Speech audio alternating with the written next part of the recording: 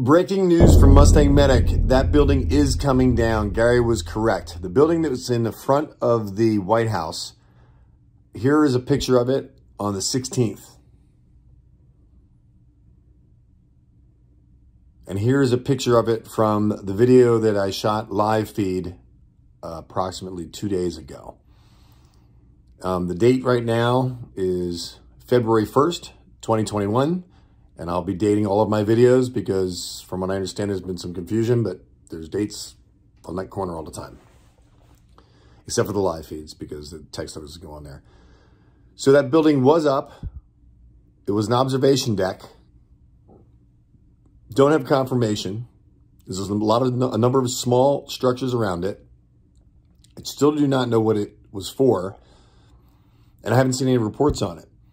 So the breaking news is that structure that was built in the front of the White House, which you can see in this picture again, now looks like this. And this is a screenshot from the video I shot uh, a couple of days ago. It's coming down. It's been used and it's done. Get digging, uh, digital Mustang Medic digital soldiers.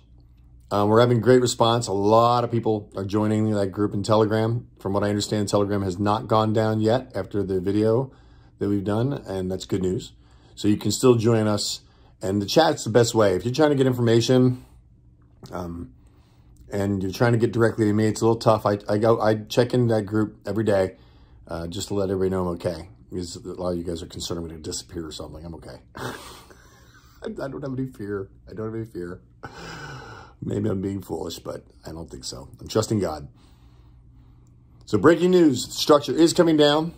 Gary was right when we did the video. And if you want to see the live feed of that, you can also look into live feed and all three parts of the videos that I did breaking on January 20th from 12.30 uh, a.m.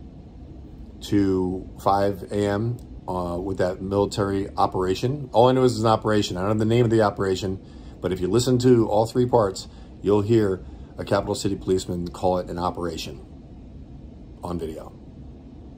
This is William Wieting from Mustang Medic in Washington, D.C. I'm just glad to be of service. Thank you. Thank you for watching, and thank you for all of your prayers and your financial support to help keep me here. I'm very grateful.